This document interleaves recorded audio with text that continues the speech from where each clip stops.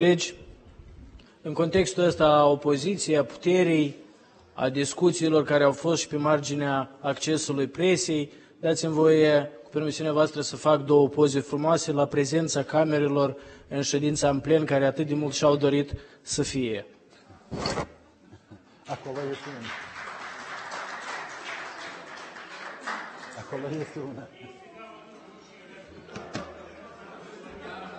Și probabil trebuie să invităm și pe restul colegilor din mass media să vadă cât de mare popularitate se bucură ședința plenului, atât de mult dorită de cameraman, de camere, de jurnaliști și accesul jurnaliștilor în sala presei.